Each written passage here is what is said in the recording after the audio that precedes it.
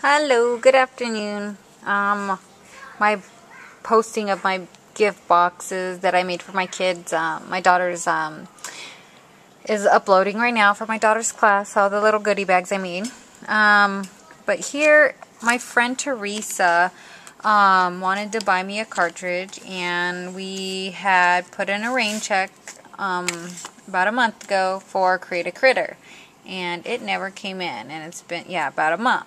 So a girl told me that she, you know, I could swap it for a different one. So for the same price, so I got Give a Hoot.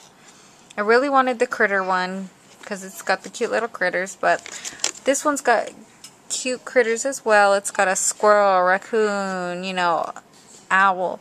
So I can't wait to make this, and it's got that apple and teacher appreciations next month. So can't wait to play with this. So thanks, Teresa. All right. Thought I'd share. All right. Bye.